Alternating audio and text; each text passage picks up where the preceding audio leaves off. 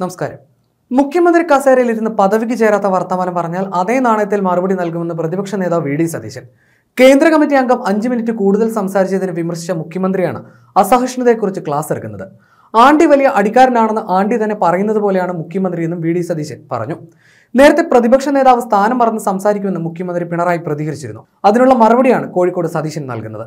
അദ്ദേഹം പറഞ്ഞത് അവിടെ നടന്ന അക്രമം എന്ന് പറയുന്നത് ജീവൻ രക്ഷാപ്രവർത്തനമാണ് അതിനിയും തുടരണം. മാത്രമല്ല ആ ക്രൂരമായ വധശ്രമം നടത്തിയ ആ ക്രിമിനലുകളെ അദ്ദേഹം ന്യായീകരിക്കുകയും അവരെ അഭിനന്ദിക്കുകയും ചെയ്തു. എന്നിട്ട് അവരോട് ഇത്തരം പ്രവർത്തികൾ ഇനിയും തുടരണമെന്ന് പറഞ്ഞു. അദ്ദേഹത്തിന്റെ കീഴിലുള്ള പോലീസ് ചെടിച്ചട്ടി കൊണ്ടും ഹെൽമറ്റ് കൊണ്ടും ഇരുമ്പ് ഇരുമ്പുവടി കൊണ്ടും വധിക്കണമെന്നുള്ള ഉദ്ദേശത്തോടു കൂടിയാണ് ഈ കുട്ടികളെ മർദ്ദിച്ചത് എന്ന് പറഞ്ഞ് വധശ്രമത്തിന് കേസെടുത്ത കാര്യത്തിലാണ് മുഖ്യമന്ത്രി മുഖ്യമന്ത്രി കസേരയിൽ ഇരുന്നു കൊണ്ട് ജീവൻ രക്ഷാപ്രവർത്തനമാണെന്നും ഈ അക്രമങ്ങൾ തുടരണമെന്നുള്ള കലാപാഹ്വാനം നടത്തിയത്. ക്രിമിനൽ മനസ്സുള്ള ഒരാൾക്കല്ലാതെ എങ്ങനെയാണ് ഈ വാചകങ്ങൾ ഉപയോഗിക്കാൻ കഴിയുക? അതാണ് ഞാൻ ചോദിച്ചത്. അതിൽ ഒരു സംശയമില്ല. മാത്രമല്ല ഞാൻ ആശുപത്രിയിൽ നിന്ന് അവരെ കണ്ട് പുറത്തിറങ്ങിയാണ്. ഒരു മത്സ്യത്തൊഴിലാളിയുടെ മകൻ. ഇടത് ചെവിയുടെ കർണപുടം മുഴുവൻ അടിയിൽ നഷ്ടപ്പെട്ട് കേൾവി ശക്തി നഷ്ടപ്പെട്ടിരിക്കുന്നു. മറ്റൊരാൾ ഐ സി യൂണിറ്റിലാണ്. മറ്റൊരു പെൺകുട്ടിയുടെ കയ്യിൽ കൈ ഒടിച്ചിരിക്കുകയാണ് ഹെൽമറ്റ് വെച്ച് ഇടിച്ച് കുട്ടികളുടെ തലയിൽ മുഴുവൻ സ്റ്റിച്ചാണ്. ചെറിയ കുട്ടികളാണ്. അവരെ ഇതുപോലെ ക്രൂരമായി മർദ്ദിച്ചിട്ടൊരു മുഖ്യമന്ത്രി ജീവനും സ്വത്തും സംരക്ഷണം കൊടുക്കാൻ ഉത്തരവാദിത്തപ്പെട്ട പോലീസ് സേനയെ നയിക്കേണ്ട അതിന്റെ ഉത്തരവാദിത്തമുള്ള മുഖ്യമന്ത്രി ആ കസേരയിൽ ഇരുന്നു കൊണ്ട് ഇതുപോലത്തെ വർത്തമാനം പറഞ്ഞാൽ സൗമ്യമായി സംസാരിക്കുന്ന എന്റെ ഭാഷയിൽ വരെ മാറ്റമുണ്ടായി.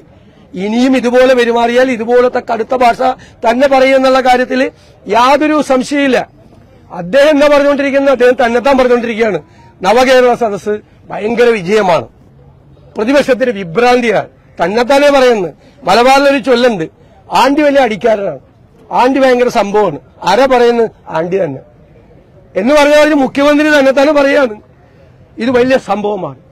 നവകേരള യാത്ര ഭയങ്കര വിജയമായി. വിജയമാണോ അല്ലെന്ന് ജനങ്ങൾ വിലയിരുത്തട്ടെ ജനങ്ങളല്ലേ തീരുമാനിക്കുന്നത്? ഈ കുഞ്ഞുങ്ങളെയൊക്കെ കൊണ്ട് വഴിയിൽ സ്കൂളുകൾക്ക് ഡി ഡിഇഒനെ കൊണ്ട് സ്കൂളുകളിലേക്ക് പേടിപ്പിച്ച് കുട്ടികളെ കൊണ്ട് ഇരുത്തുക.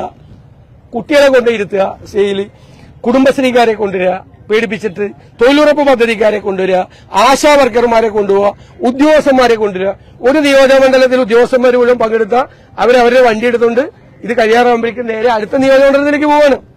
എന്നിട്ട് കണ്ടില്ലേ ആൾക്കൂട്ടം ഭയങ്കര ജനപങ്കാളിത്തം. പിന്നൊരു കാര്യം മുഖ്യമന്ത്രി പറഞ്ഞു. ഞാൻ എല്ലാ കാര്യത്തിലും അവഗാ അവഗാഹമുള്ള ആളാണെന്നുള്ളൊരു തോന്നൽ എനിക്കുണ്ട്.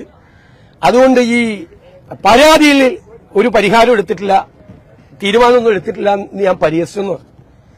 നാല് ദിവസം ആയില്ല നാൽപ്പത്തിരണ്ടായിരം പരാതി കിട്ടി. പരാതിയുടെ എണ്ണം കൂടുമ്പോൾ ഭയങ്കര സന്തോഷം മുഖ്യമന്ത്രിക്ക്.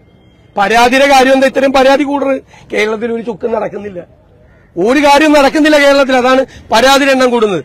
ഞാൻ ആ പരാതി പരിഹരിക്കാത്ത കാര്യമല്ല പറഞ്ഞത്. മുഖ്യമന്ത്രി അതൊന്ന് ട്വിസ്റ്റ് ചെയ്താണ് ഞാൻ പറഞ്ഞത് മെയ് രണ്ടാം തീയതി മുതൽ ജൂൺ നാലാം തീയതി വരെ മന്ത്രിമാരുടെ നേതൃത്വത്തിൽ കേരളത്തിലെ എല്ലാ താലൂക്കുകളിലും അദാലത്ത് നടത്തിയിരുന്നു. പതിനായിരക്കണക്കിന് പരാതികൾ അന്ന് കിട്ടിയിരുന്നു. മന്ത്രിമാർ നേരിട്ട് പോയി. ആ പരാതിയുടെ കെട്ടിതുവരെ അയച്ചിട്ടില്ല. കൂട്ടം കൂടി കൂമ്പാരം കൂടി കേരളത്തിലെ എല്ലാ താലൂക്കുകളിൽ നിന്ന് കിട്ടിയ പരാതി ഭരണത്ത് വെച്ചിട്ട് ഫ്രിഡ്ജിൽ വെച്ചിട്ടാണ് മുഖ്യമന്ത്രിയും മന്ത്രിമാരും കൂടി വീണ്ടും പരാതി അന്വേഷിച്ചിറങ്ങിയിരിക്കുന്നത് അഞ്ചു മാസം മുമ്പ് വാങ്ങിച്ച ആ പരാതിയിൽ എന്ത് തീരുമാനം എടുത്തു എന്നാണ് മുഖ്യമന്ത്രിയോട് ഞാൻ ചോദിച്ചത്. അല്ലാതെ മിനിങ്ങാന്ന് കിട്ടിയ പരാതിയിൽ ഇന്ന് എന്തുകൊണ്ട് തീരുമാനം എടുത്തില്ല എന്ന് ചോദിക്കുന്ന ആളല്ല ഞാൻ. അഞ്ചു മാസം മുമ്പ് കയ്യിൽ കിട്ടിയ ലക്ഷക്കണക്കിന് പതിനായിരക്കണക്കിനല്ല ലക്ഷക്കണക്കിന് പരാതികളിൽ അത് കെട്ടിവെച്ചിരിക്കുകയാണ്. എവിടെ ഇരിക്കുന്നതെന്ന് പോലും ആർക്കും അറിയാൻ പാടില്ല. തുറന്നു നോക്കിയിട്ടില്ല ഒരു ഉദ്യോഗസ്ഥനും. ആ പരാതി കയ്യിൽ വെച്ചിട്ടാണ് ജനങ്ങളെ കബളിപ്പിക്കാൻ ഈ അശ്ലീല നാടകമായിട്ട് ഇറങ്ങിയിരിക്കുന്നത്. വീണ്ടും. പിന്നെ ഇത്രയും ദിവസം ഈ മന്ത്രിമാരെല്ലാം ടൂർ പോയി കഴിഞ്ഞാൽ അവിടെ എന്താ നടക്കുന്നത് തിരുവനന്തപുരത്ത്? ഭരണത്തിന്റെ സ്ഥിരാകേന്ദ്രത്തിൽ ഒരു മന്ത്രിയില്ല. ഇപ്പൊ പല ജില്ലകളിലും മഴയാണ്. വെള്ളം കയറുകയാണ്. അവിടെ രക്ഷാപ്രവർത്തനങ്ങൾ പോലും കൃത്യമായി നടക്കുന്നില്ല.